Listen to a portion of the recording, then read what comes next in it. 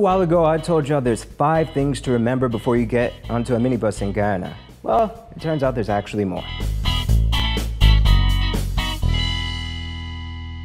Welcome back, culture fans. Today, we are revisiting everyone's least favorite form of Guyanese transportation minibuses.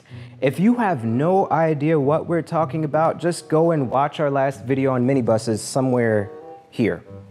Damo will put the link in. Yeah. Anyway, before we get to the list, you already know what time it is. It's time for me to do what every YouTuber does around this time, which is for me to beg you to smash that like button and subscribe to our channel.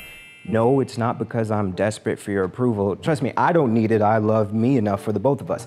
I am actually asking you to do it so that we can trick the YouTube algorithm into thinking that video content from Guyana is actually worth sharing on the YouTube homepage. So do it. It's for the culture. All right, on to the list. Rule one, never pay for Granger. The $5,000 bill also known as a Granger. Don't ask me why it's called a Granger, just know that $5,000 bill, Granger.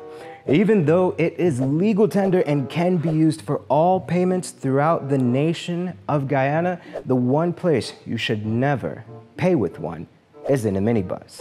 That is, unless if you want to hear a ticked off conductor tell you about the manner in which your mother made you. It might sound unreasonable at first, like, why is he cussing me out? This is legal tender. But the average bus ride in town is only about $100.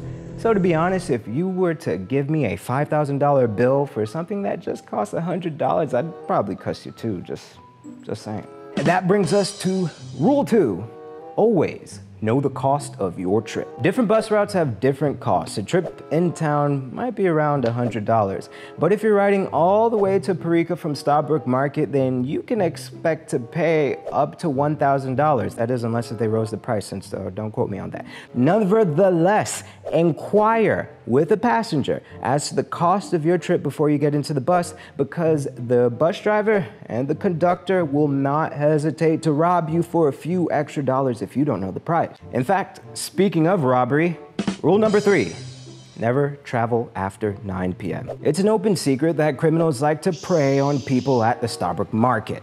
But what a lot of people don't know is that these same thieves also like to rob commuters on the minibuses themselves after dark. Yes, like no lie, I'm not kidding. While the bus is sitting there at the market waiting for more passengers to fill up, armed individuals get on with the express intent of robbing every passenger on the bus before running off with their money. Although, to be fair, you're likely to get robbed in any part of Georgetown after dark if you're not careful. But being stuck in a minibus basically makes you a sitting duck. So travel after dark at your own risk. Rule four, never wear your best clothing in a bus. It will get ruined. Need not say more. And rule five, always avoid touts. Now this one's an important one because you see, a tout is someone who a minibus driver actually pays to get passengers to get into their bus and no one else's. So the tout will literally use any means of lies, trickery, and whatever just to get you to step into his bus. I, I mean, seriously, between a Guyanese politician and a minibus tout, I'm really unsure who lies more. So if they approach you, go in the opposite direction immediately because you will most likely be placed into a bus where you're gonna hate the ride. Because I'll let you in on a little secret. Drivers who hire touts are the drivers who do not follow the traffic law. In fact, touting is illegal. Yes, it is a crime because, you know, they're a nuisance with no regard for personal space. Literally, the only time in my life I've been sandwiched between two disgusting stink men was in the middle of the market.